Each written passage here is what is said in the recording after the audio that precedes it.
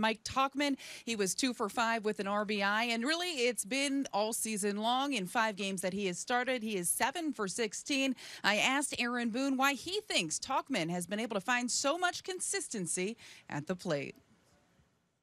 He's talented, first of all. I mean, he's a guy that you know has power, can run, can defend, um, and and I think he's just finally kind of gotten an opportunity at the big league level. I think he's done a great job of coming in here and learning how to prepare, learning how to uh, prepare for a pitcher and game plan.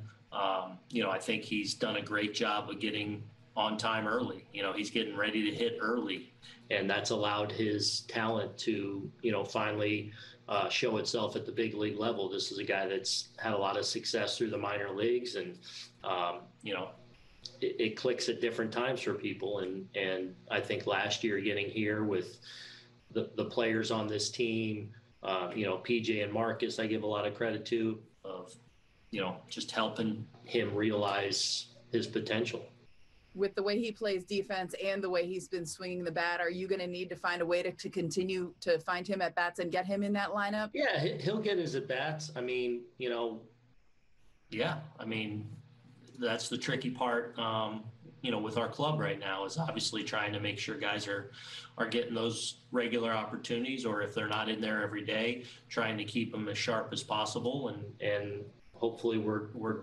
we're juggling that all season long because you know, mean would mean we're healthy.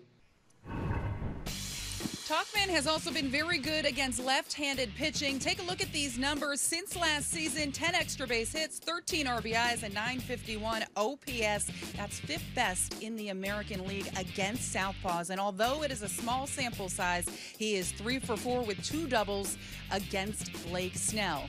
Switching.